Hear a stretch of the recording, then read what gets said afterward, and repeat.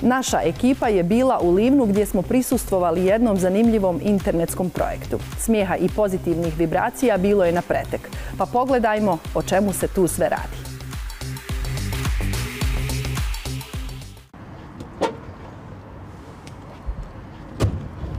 Ti ste haubar. Ti si puši. Znači, ste moji. Šta si ovo, doktoro? Jesi? Izdoni. Jesam. Hajde, pa meni cijelu noć.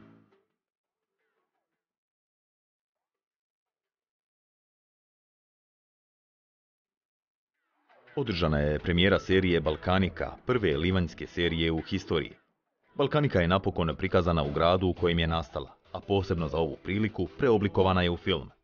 Livno je tako dobilo dašak velikog svjetskog i regionalnog filmskog glamura s crvenim tepihom i sa svim poznatim glumcima koji su bili prisutni.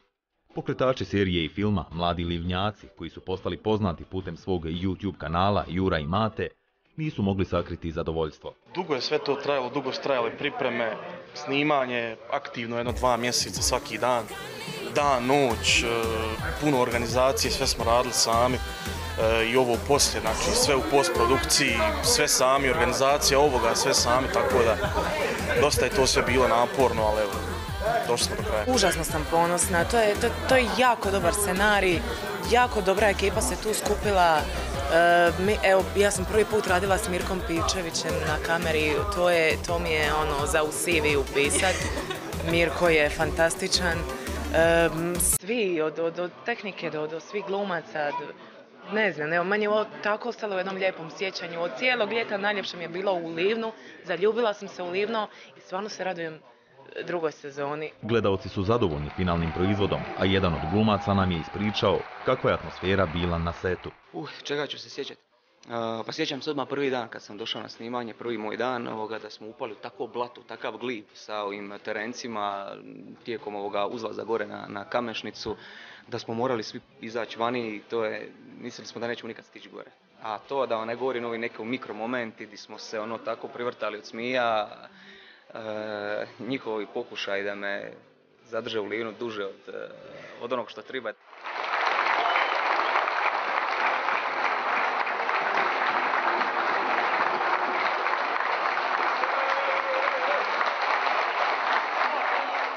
Samo je bilo pitanje vremena kada će me, evo, i Luka i Ivan, kada će me pozvat. Mi se ganjamo zapravo već godinama za Juru i Matu, ali evo, dogodio se ovaj kapitalni, ova kapitalna priča, tako da mi je baš čast, evo, da sam uletio e, spremno u nju i da smo imali nezaboravni rad, ono, mjesec, dva. Mnogo je uloga iza njega u njegovoj dosadašnjoj glumačkoj karijeri. Mladen ističe da nakon svakog projekta pamti isključivo ljude sa kojima je radio, a ne ulogu. Meni je super serija. Odgledao sam je u dahu, ono, iskreno, baš je super, ono. A da, ne znam, da mi je, nek, da mi je loši osjećaj, ne bi pamtio seriju, pamtio bi samo ljude, koja, a ovo se poklopilo. Vuletić ističe da mlađim kolegama ne može ništa da zamjera, jer kako kaže, drugo je vrijeme bilo kada je on počinjao karijeru. Drugačije je, danas, danas mla, ono, mladi im ne mogu zamjeriti. Ono što im je možda bitnije da se, ili glumice, da se slikaju nego da naprave dobru ulogu. Jednostavno to je generacijski. Kako će na sama švrca ljudi, šta ti? Pa ja se uzdam u tebe da ćeš još nekog naći. Nakon uspješne prve sezone, spreman je scenarij i za snimanje druge sezone. Bez komplikacija. Javljaš se samo meni, okej. Dosta smo svojih sredstava uložili, dakle ovo je isključivo naš proizvod, dakle naše vrijeme, naš novac, sve naše što se kaže, jel? Tako da evo nadam se da će nakon ove prve sezone da ćemo imati ovaj da ćemo imati prostora za, za, za donatore, za više donatora, za više sponzora. Bakre, brate, nešto smo gadni zajedno. Zar nije trebalo biti troje ljudi? Bila je s njima i jedna cura. Migrantica, ja? Glavni glumci kroz smijeh nam ističu da sličnosti sa ulogama i onime što oni zapravo jesu, skoro da nikako i nema.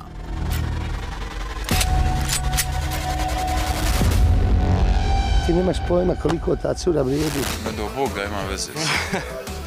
Dobro, možda ima tu neki sitni dodirni ovaj, točaka, ali... Aj sad reci kad to... Pa ne znam, šta ja znam. Ne znam, uglavnom... Ej, ja sam... Pa ne znam, možda ima malo, mislimo... Opet hoću pomoći. Dobro, po, e, to je, e, to je isto. Da, i ne znam, kad nešto pričam, znam se neko nasmijati, evo vidio sam se večeras smijali ovaj, replikama, tako da, okej, dobro. Ja sam, ja sam isti svoj lik. Imaš 24 sata vratiš cijeli dug. Ako se ne pojaviš, Ja sam toliko oduševljena jer je ovo jedan od rijetkih projekata di kao nije sve bilo na nekim e, e, produkcijski napucanim razinama kao što je to ne na televizijama i tako dalje, ali bez obzira na to mislim da su ljudi dobili osudila bi se reći čak i puno kvalitetniji proizvod nego što nam se servira ovaj, na, na televizijama u kinima. Nakon premijere, Balkanika je još dvije večeri prikazana u Livnu, a kako saznajemo, u planu su premijere i u drugim gradovima, Mostaru i Splitu, kao i TV prikazivanje.